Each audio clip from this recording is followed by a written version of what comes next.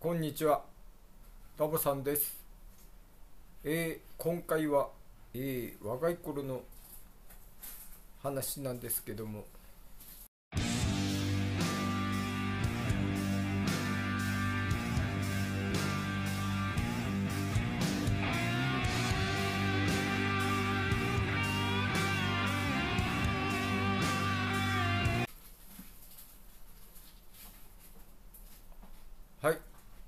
タボさんです。今回は、えー若い頃のやばかった話したいと思います。よろしくお願いします。えー、うんとですね、私の若い頃なんですけども、えー、まあ、二十歳から25歳ぐらいまで夜勤専門で仕事をしてました。ですので、えー昼間は、えーパチンコに行く時間があったわけです。それでまあほとんど毎日のようにパチンコに行ってました、えーそれでなんで、まあ、毎日のように行ってたかというと、まあ、私、私というか、うーん、昔のパチンコっていうのは、えー、うーんと、無制限台っていうのがなくてですね、打ち止め台というのが、えーな4000発定量とか5000発定量であったわけなんですけども、まあ、私得意な台が何台かあったんですよ。それでまあ他の人が敬遠するような台だったんですけども私はなぜかしらその台だけは得意でしてそれでまあその台で結構小遣い稼ぎというか、いい、うーんと、他のパチンコや売っている人に玉を売っておりました。うん、それでは、その時にやばかった話をしたいと思います。岩手県出身である、えー、うーんとパチンコの YouTube を上げているボスさんっていう方がいるんですけどもその人がが、えー今ボス TV っていうので、えーパチンコの動画とかいろいろパチスロとかいろいろ出してるわけなんですけどもその人が、えーアップしております。パラレルという台があるわけですよ。その台が私すごく得意だったんです。えーそれではそのお話をしたいと思います。えーまあなんていうかうーんと昔それこそ何年前だろう30何年前っていうのは、えーほとんどうーんとまあ大って言えば、えー、広島っていう学校をずらっといじれずに同じ機種が並んでたわけなんですけども、えーまあバラエティーコーナーの走りじゃないですけども何台かバラバラに、えー、侵さってる機種がのコーナーが、えー結構狙い目でして、えーまあ私の好きな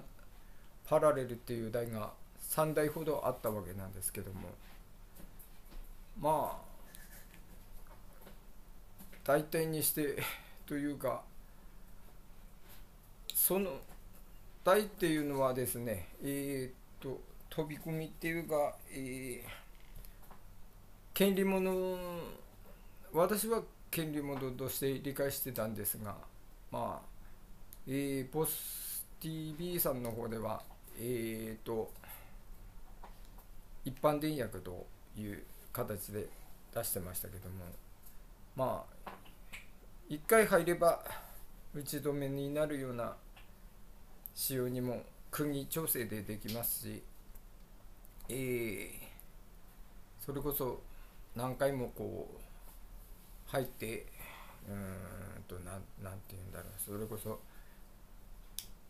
羽物のような感じで遊べるような台にもお店屋さんの方で調整できるような台だったんです。まあそれでですねまあ私はその台は絶対的にというかまあ3台あれば3台ともまあ打ち止めなってなければ私まあ必ずその台だけは打ち止めできたんです。それでですねまあ私うんまあその台だとぶぶっ込みっていうか弾が入るとですね焼くものがこう動くわけなんですけどもその台はうん動きがすごく悪いっていうか弾がこう入って重みで下がるんですけども台を戦わないとちょっと動かないような状態の台があったんですよ。それで入ったんで台をどついたわけですよ。そしたらば隣の怖いお兄さんがですね「てめえうるさいぞ」と。いうことでイチャモンつけられたわけですよ。まあイチャモンつけられたんですけども結局のところ、えー、私のた玉の方が目的だったようでその人がいいいいお客さんになったわけなんですけども。まあ他の方から言わせればあいつちゃんとお金払ってるのかと。いうような人にも、えー、玉を売ってました。まあそれでまあそういうのを見てるとですねまあ普通のお客様で私の玉を買いに来るようになりました。でもなぜか店員さんは確実にその玉買いに来る人は捕まえるんですよ。ですんでまあ捕まると事務所の方に連れてかれるわけですけども。まあなぜかしなぜか知らないですけども売る方っていうのは、えー、捕まらないんですよ。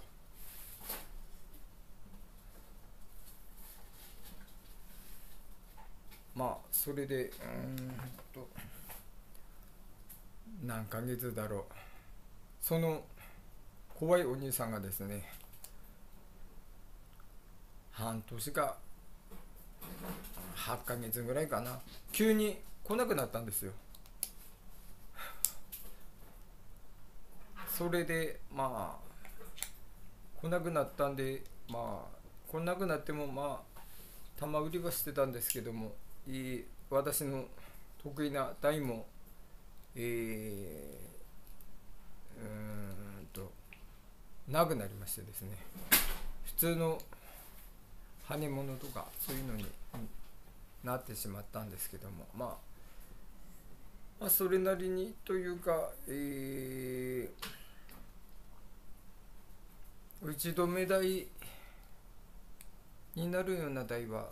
まあとりあえずまあ軽量なんで、えー、無制限で打てるわけじゃないんで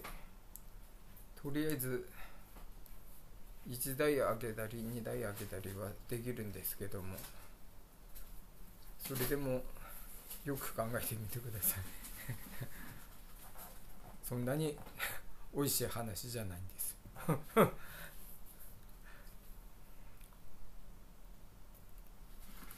それでまあ私の話が気になった方は、えー、ボス TV さんの方でパラレルっていう題をアップしてありますんで